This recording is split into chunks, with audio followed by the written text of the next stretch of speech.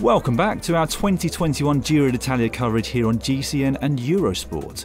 Today's stage was given a three star difficulty rating with over 2,000 metres of climbing in total, most of it located in the second half of the 189 km stage.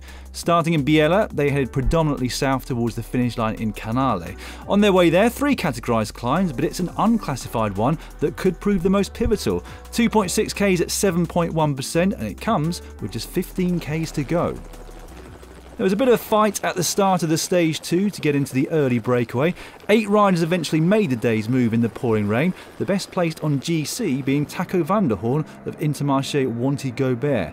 He started the day in 79th position, 52 seconds down on race leader Filippo Ganna. The first sprint of the day came at the foot of the first climb, Pellaud continuing where he left off last year, taking maximum points for Androni.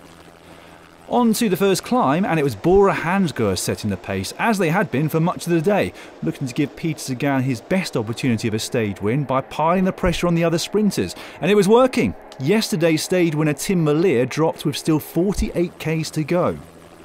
Into the final 20 Ks, and the gap to the remainder of the early break down to just 40 seconds. So we had fresh attacks from the peloton, Giulio Ciccone following a move made by Tony Gallopin of AG2R Citroën. At the top of that final climb of the day, they were just 19 seconds behind the two riders still out front, Pellaud and Van der Hoorn.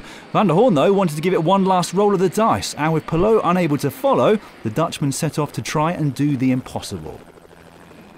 With under 3Ks to go, somewhat unbelievably, Van der Hoorn still had a margin of over 30 seconds on the main peloton. 1K later, it was down to 22 as Ciccone and Gallopin were finally caught. The peloton, though, had completely miscalculated the strength of Van der Hoorn. In December, he didn't even have a pro contract. He was then picked up by Intermarché Wanty Gobert, and just five months later, he'd taken his and their first Grand Tour stage win. Nobody could believe it, not even the man himself.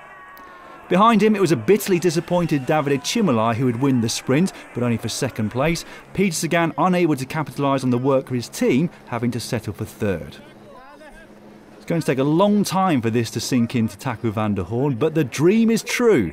You've just won a stage of the Giro d'Italia. Chapeau.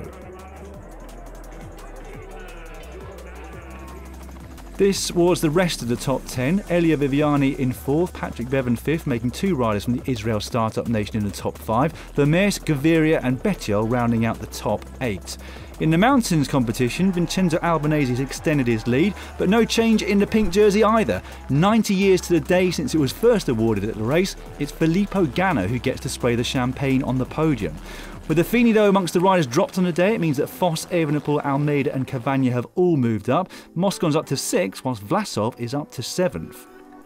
On the menu tomorrow, then, even more climbing than today. The Giro never takes long to find some difficult terrain, and that's exactly what they'll face on their route to Sestola. Like today, the first part is flat, but the second half is anything but. They finish just after the Colle Passerino, 4.75 kilometres long, 10% average gradient, 16% max, and it's just 2.5 Ks to the finish line from there.